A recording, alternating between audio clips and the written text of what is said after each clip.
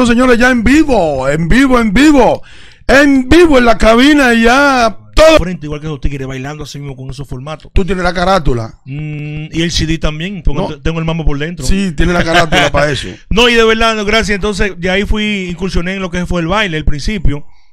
Fui bailarín de diversos grupos en el área del Oh. Cibao, Big Family, Con Cruz, Aliado, Don Miguelo y sucesivamente. Luego entonces ya a yo ver la escasez de lo que el público quería ya para completar ya lo que es un show. eh, yo dije, bueno, estos tigres no se mueven, estos tigres no, no vibran, estos tigres no, no, no hablan con el público, no interactúan. Entonces ahí fui aprendiendo varias cositas, los cuales ya fui desarrollando ya después que inicié mi carrera ya con, con los tequeteques. Pero antes de los tequeteques fui rapero. Yo pertenecí a una coalición que se llamaba la AR, Asociación de Raperos Reales en Santiago.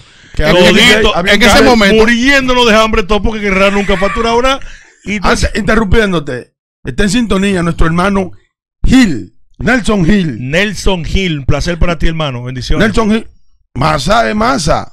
Ay, masa. Oye, Masa. Masa, Un saludo para él, saludo. un saludo y un aplauso. Te manda Masa. saludo, Masa. Gracias, gracias, Masa. Jesús Gil. Ese gran empresario, independiente y feliz. Te, ma- te manda a hermano. decir que, Que te dé lo un quiero. abrazo, no beso. Eso No, no. dije que lo quiero. que lo Él- quiero. él quiere el beso, no el abrazo. Sin beso, sin beso. Abrazo. Pero te quiero, hermano. Beso y abrazo para ti. Me En siento sintonía, rico. masa, compadre. Claro, una vaina de honor. Una cosa, eh, en ese entonces que tú estabas en ese corito de, de rapero, ¿hiciste algún tema que tuvo connotación nacional, internacional? No. No, no, no. Ah, pues verdad que estaban era en parte música, dieta. era música, esa era música para nosotros y para la gente que escuchaba hip hop en ese entonces. Pero, ¿qué te puedo decir? Mis rimas siempre, mi, mi líneas siempre fueron otras, porque me gustaba siempre mucho el baile. Y ya el hip hop era algo para tú descargar ciertas eh, ideas o, o, o traumas o cosas que te sucedieron, pero no se bailaba. Es un desahogo. Desahogo. El hip hop es desahogo, en el cual tú expresas. Ahora mismo yo agarro una base de hip hop y de qué yo voy a hablar? De todo este disparate que está pasando aquí con todas estas cosas. Pero ya, raperos. ya yo eh, pasé por lo que fue baila- eh, bailarín. Eh, eh, perdón, hice hip hop, después fue bailarín. Luego entonces ya conectamos, yo y Crazy Design hicimos varios grupos que personalmente cuando bailaban, bailábamos juntos. Éramos, un- éramos Sí, Crazy bailaba, Crazy bailaba. Claro que sí, entonces ya comenzamos a bailar con todos esos grandes grupos pegados del Cibao. Luego entonces eh, bailamos para, para eh, promociones de, de colegios sucesivamente y ahí hicimos un grupo. ¿Qué pasa? Que Crazy Sign siempre tuvo devoción por lo que fue la música cantar, era muy fresco, intrépido, eh, un tigre sin, sin, sin, Sin vergüenza, como se sin dice. vergüenza, así mismo, un tigre Sí. open para bregar. Open, eh, ya. una No, cosa. le está yendo muy bien a él. Una Claro, cosa, súper bien, gracias eh, Dios. ya que pusimos el tema de los tequeteques, pues nosotros lo que queremos hablar de tu proyecto personal. Perfecto. Este, para que cuando salgamos de esto ya no entrar en esto. Bien. ¿Cómo surge los tequeteques? Bueno, lo tequeteque lo unió Sí, fue... porque los tequeteques es una realidad. Claro. Lo tequeteque Hay fue... que- la gente cierra los ojos y piensan en todos tigres. Luego de Sandy y Papo fueron el dúo más internacional de República Dominicana, dicho y hecho. Después de Sandy Papo. Creamos ¿Cuáles, ¿Cuáles línea- países ustedes, ustedes visitaron? Bueno, toda Europa, los Estados Unidos también completo.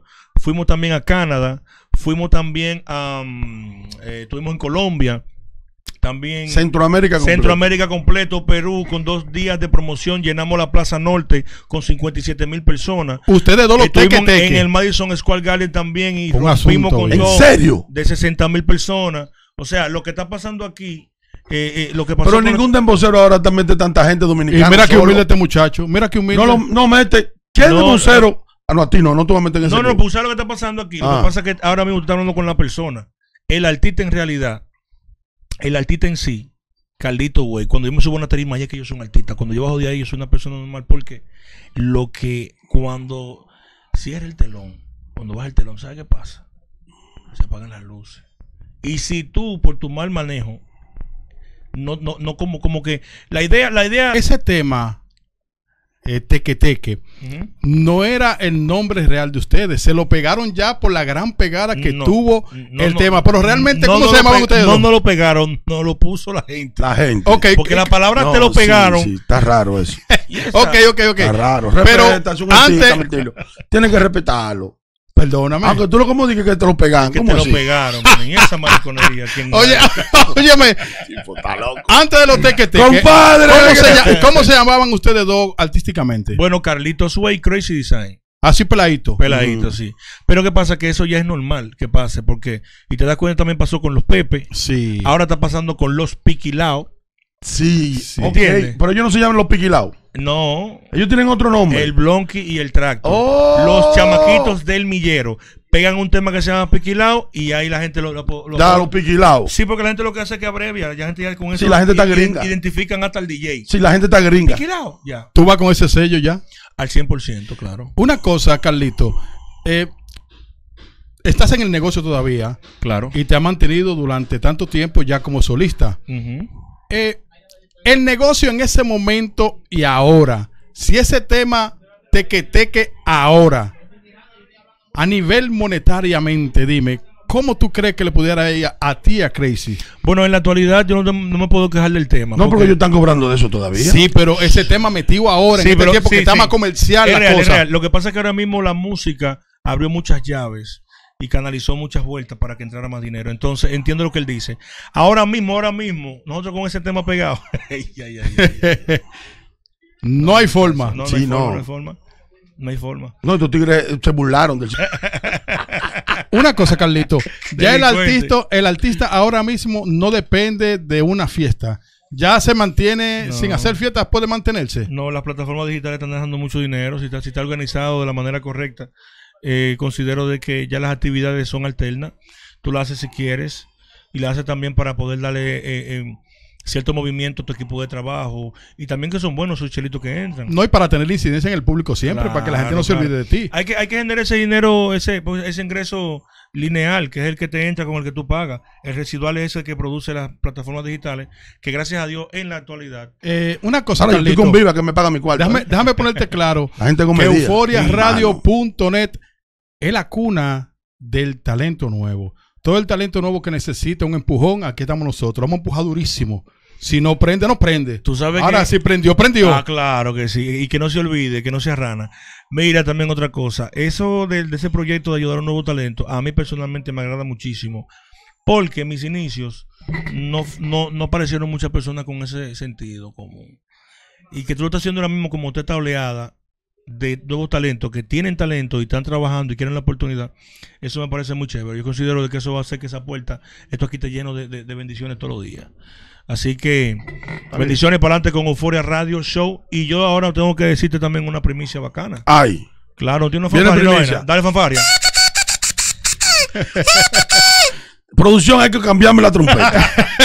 Trompeta no podemos tener. Esa trompeta tiene moquillo. Vamos allá, vamos allá, vamos allá. Viene primicia de euforiaradio.net. Bueno, Dale. bueno, mi gente, ya la gente sabe que yo tiempo atrás tuve una película que se llama Cara a Cara, pero ahora estoy en un nuevo proyecto que se llama El Plan, el cual es la, es la película más profesional en la cual yo he participado, donde hay actores ahí como Joniel En una película. en una película, Robert, que son gente ya de mucha ¿Tú no necesitas experiencia. maquillita?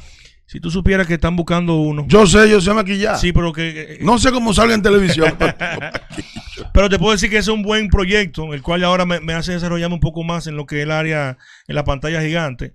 Y nada, seguimos trabajando música, mi sello Manicomio Records, eh, Los Piquilados matando en Europa, Hansel 15, el alcalde de La Cañita, Santiago revolteado. Ya en esta semana que viene voy para Santiago a hacer mi media tour y voy a agarrar todo el cibalo, lo voy a peinar con el bolón. El tema pegado en la calle, pídelo en toda la emisora del país entero, que está regado en todas partes. Al fin y al cabo, surgen con el meneo. Mira este, como estaba ahí, que, que diga que era el más hombre, diga que era un camión y movió los hombros. Y- Lo estoy mirando desde hace rato. ese pie vibrando ahí como ya Sí, tú sabes. sí, abajo de la mesa. Tú sabes Ese que cuando yo tema- veo, cuando yo veo un macho me pongo así. Ay. Háblame de ese. De, espérate. Háblame de ese tema. ¿Quién lo hizo? Ese tema lo hiciste tú. Eh, Es relajando, es relajando, es relajando. Ese tema lo hiciste la tú. vaina de la mariconería es relajando. Es jugando, mi gente, jugando, jugando. Él no es pájaro no, de no, no de, no, de mi parte, yo no sé tú. porque Yo no- de, la, par- de la parte mía también. la parte mía está bien cuidada. No, mira, ¿qué te puedo decir? Eso fue, eso surgió como surgió también Yo Sigoso, eh, con los del millero. Esos maquitos son muy talentosos. Esos son los piquilados. Los piquilados, claro que sí. Ellos. Pero que tú le dices el millero y yo no lo conozco como los milleros. Claro, los piquilados, claro que sí. Lo que Vamos, pasa es que ellos se llaman el Blonky y el Tractor. Están Los metidos los carajito. chamaquitos del millero, pero ya por el tema que pegaron piquilado, ya se le quedó piquilado. Pero si tengo que decir algo, fluir con ellos es fácil porque ellos siempre la tienen. Chamaquitos tienen mucho talento y tú sabes que ya uno ya viene siendo un tigre viejo en esa área y le damos con todo. Ya tú ves cómo eso surgen. Son temitas que se hacen en 15 Como minutos. decimos los raperos, te comiste el beat. Una cosa, Ey, Carlito. te, ey, te gustó Seguimos esa, con- ¿no? Como decimos te- los raperos. Pues yo soy rapero también. Óyeme una cosa, hiciste esa Sí, colaboración sí. con los piquilados. ¿Qué hay de colaboración con los boricuas? ¿No hay ninguna? ¿O qué hay en ¿Con proyecto? cuál es boricua? Con los boricuas, él sabe. No, claro que sí, con los boricuas siempre, siempre. Siempre ellos están Uno, ayudando. no, y uno, y uno está siempre a, a- a la intemperie, abierto a trabajo. Lo que pasa es que ahora mismo cada quien va a traer su número. Yo voy a traer mi número. Y si aparece un boricua, tiene que aparecer un boricua, tú me entiendes, que esté en- enfocado en trabajo. Ranqueado. Jacqueline. De Tú la no, de tú la no ma- te vas a poner a grabar, escúchame producción, Miltilio, tú no te vas a poner a grabar con un chamaquito que salió nuevo de los boricuas que andan por- No, ¿verdad que No, no crea que. Oye, lo- tú tienes tu trayectoria. Sí, pero no crea que los nuevos. Es verdad. Claro, lo que pasa es que los chamaquitos vienen ya con su estrategia hecha. Y siempre tienen atrás unos tigres seteando que eso es el final. O sea, ellos no tiran para fallar. Cuando tú ves uno que salen, tú ves que se apoyan entre ellos también. Que hay, hay- esos son Lo que no hacen aquí en la República Dominicana, que no apoyan. Sí, Lo pero- hace. Seguimos con los boricuas. Ok, perfecto. Con respecto a los boricuas, eh, siempre un placer trabajar con ellos. Son muy fajadores. Son tigres que no, no tiran para fallar. Y también son Pero inteligentes. nada a la más, de escucha que te interrumpa. Nada más vienen cuando, cuando no están pegados, cuando están pegados, después no graban con nadie. No, porque en realidad es que, es que tú no puedes, tú no vas a tirar la piedra, habiendo un mango maduro, le vas a tirar piedra al mango verde. Pero que entonces ellos no están pegados, ellos son como los condones. Ellos no pero- usan como los condones. Pero peor el de aquí que se lo deja pegar. no, pues no se lo pegan, lo usan y después lo botan. Lo que pasa es que todo es. Con respecto a mí. ¿Verdad? El condón no se recicla. ¿Por qué, loco? ¿Cómo es? El condón no se recicla. Tienen que reciclar el condón, voltearlo, hacerlo. Hacerlo de doble cara. Porque quieren, quieren estar. Hay una campaña en contra del plástico. Es un plástico. Pero seguimos con los boricuas. dale. no, con respecto a eso, siempre con ellos es, bueno trabajar. Ellos también se acercan cuando ven también que tú tienes tu pan para aprender. Cuando tienes tu talento, Pero lamentablemente nunca nos llaman para sus proyectos. ellos se aprovechan de la pegada del dominicano. Pero bueno, tú sabes una cosa, no es bueno hacer mucho énfasis con lo- en los boricuas. Hay demasiadas cosas importantes que hablar de mí. Mierda, qué boche. Vamos a soltar esa gente en banda, esa gente también. Mierda, qué ¿De el la mano de quién está trabajando. Carlito Güey Qué ahora? ¿De esa boche. De la mano no me de boche así, de la, manito, de en la el mano de Papá Dios, no, mi hermano negro, no, tú sabes que eso es de Diablo. ellos. Eh, de la mano de Papá Dios, Yo soy muy chismoso. tengo mi equipo de, tengo mi equipo de trabajo activo. Ahí- Es que el tipo es fuerte, no le saca nada, no se le saca nada al tipo. No, lo que pasa es que él sabe que 300 mil, pero un veterano de guerra y yo vengo de cachicharlo. No, hombre. Está bueno no. que me pase, por fresco. No, pero si tú quieres generar cualquier tipo de controversia, pregunta lo que tú quieres y te voy a responder. No, no, general, no, no, general, no, pero los boricuas en verdad lo que hacen eso. Que Sí. no, no, bueno, está bien, vamos, para no ganar otro Pues bien, entonces, eh, en mi anterior tema, Dámele Volumen, antes de ese, o sea, después de Dámele Volumen, que gracias a Dios tuvo un buen efecto, ahora mismo en, en Estados Unidos el tema está sonando súper bien, solté un tema que también llevé a los piquilados, que se llama Prendido Remix, que era un tema mío, lo hice featuring con Seki Vicini, pueden entrar a mi canal de YouTube, Carlitos Way RD o Carlitos Way, Carlitos W-E-I, y ahí pueden suscríbanse y denle me gusta y chequen lo que, lo que tengo ahí. Ya la semana que viene suelto otro tema con tu video. Está prendido, tú estás prendido. Se llama El Way. Ya cada 15 días le voy a soltar tema. Cuando se harto de tema, entonces comenzamos a hacer gira. Eh, tengo mucho material. Tengo, Pero eso, eso un, tú no tienes ni que decirlo. tengo un equipo de trabajo solamente de música, otro de marketing. Ahora vienen muchas cosas. Viene una condición física más, más Tú tienes un equipo de trabajo ahora. Tengo un equipo de trabajo normal. No como, ok. Una vaina bien, una vaina. Eso es productores, compositores y todo el mundo. Y de este lado tengo mi equipo de trabajo para allá. Para las redes sociales. actividades, una vaina por el libro. Una pregunta. Santiago de los Caballeros, a tu entender, ¿es la plataforma que pega a los artistas de la República Dominicana? ¿Qué pregunta? Sí, muy buena la pregunta. Pero pregunta. tú más que nadie sabes que la capital es el centro donde están todos los medios. O sea, si dice Santiago, en Santiago tú haces tu diligencia. Porque un medio en Santiago equivale a que a actividades, a mucha eh, mucha interacción. La gente de Santiago apoya de verdad al 100%. Pero tú A sabes eso que me a- refiero. Pero tú sabes que aquí están Los santiagueros 1A. a- aquí que están los medios más fuertes del país, eh, tales cuales como Telemicro, sucesivamente, que son plataformas que son muy esenciales. Por eso que todo el artista que sobresale, suponer en su pueblo, viene aquí a Santo Domingo y explota de una vez. No, pero yo lo digo en el sentido, yo no lo digo en el sentido de medio, yo lo digo a, a los fanáticos. Ah, o no, sea, apoyan que, al 100%. que apoyan el 100%. o sea, que si tú vienes pegado de allá para acá, ya de aquí te llaman, güey, hay un chamaquito, están los tequeteques, están Sí, metidos, sí. vengan, vengan para acá. Mira, mira una Con cosa. nosotros pasó algo así mismo. Exacto, es lo que te digo. mismo. Nos pegamos en Santiago, full. Full. full. Luego entonces cantamos la primera vez que cantamos fue en Jarabacoa. Luego entonces Santiago, Santiago nos mantuvimos siempre ahí. Cuando caímos aquí hicimos el media tour, le explotó para el mundo entero, una cosa increíble. Sí. Una, una cosa, Carlito. Eh, por tu trayectoria, he visto que tú no eres una persona conflictiva. ¿cómo tú haces? ¿Cuál es la fórmula para tú caer bien? Sí, en todos Carlito no está sonando Tú nunca no con lo oyes gente. ningún bochinche, como también. No, no. ¿Qué, qué opinión te merece a ti estos muchachos que vienen creciendo ahora en el género urbano y que buscan la forma de llamar la atención como sea? Yo nunca he oído a Carlito, Le- eh, Carlito Güey que ha hecho nada Eh, raro. Se te iba a ir un nombre ahí. Se te iba a ir un nombre ahí. Sí. Protégeme. No está bien, ok. Mira, eh, con respecto a eso, cuando tú te basas en controversia para sonar, para buscar views, para esto y que lo otro, el día que tú dejes de hacerla, que te jarte tú mismo, porque eso también llega a un punto que te tiene que alcanzar obligado. El día que llegue que te canse y ahí tú, la gente pierde, o sea, te pierde la, la, la, la, conexión. Yo quiero que hable el trabajo. A veces suceden cosas que yo la manejo muchísimo. Yo he tenido ciertas situaciones que otra gente la, hace eco. Pero ¿qué pasa? Yo no quiero vender esa parte. Porque yo opino que el que hace eso que no tiene talento. Claro. Tú tiene te has mantenido a nivel de talento. A nivel de talento, claro. Y eso No, escribiendo, y- y so- y so- escribiendo. Y soy testigo libro que todo el que habla de Carlito Güey no, hablar. es, es una no. súper im- No, impresión. con un respeto, hay que dársela al tipo, hay que dársela. Tiene manejo. Manejó un tema una vez en una época y, y se manejaron de una forma de altura. Claro. No cayeron ni a. ¿Me entendiste? Eso es Por así. eso pasó y todo quedó en el olvido. Sí. ¿Qué tenemos de proyecto a corto, a largo plazo?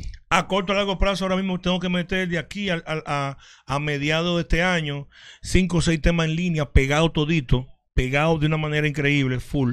Pero el, último, el que me gusta, yo soy gozo, ese tema. ese me- tema, ese tema me están esperando en Estados Unidos para, para cantar ese tema a todo el mundo.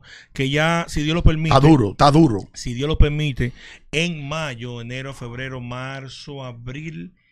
A- de abril a mayo estaremos de gira por todos los Estados Unidos con Dios por delante. Oye, pero qué bien, Voy a mano. visitar, claro. Eso es, mano, buscando lo, lo- Yo soy 10, ¿oíste? Que tú eres una persona eh, con mucha vibra positiva, eres un muchacho con un empuje y una actitud que tu límite, yo no sé si decir que es el cielo o más Es allá. real, es real. ¿Cómo tú te visualizas en este año 2020?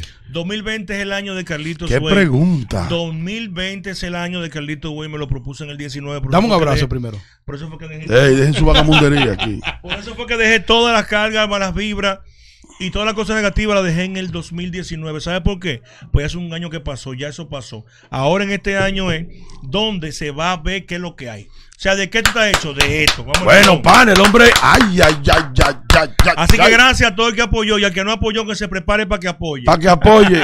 El hombre vino de una, de una lesión, pero ya está ready. Bueno, ready. Carlito, hay un segmento que, que eh, aquí está que se llama el minocular. El binocular, wow. O los minoculares. Sí. ¿Cómo que se dice? ¿Minocular o los minoculares? Desde que él lo ve, él sabe lo que es.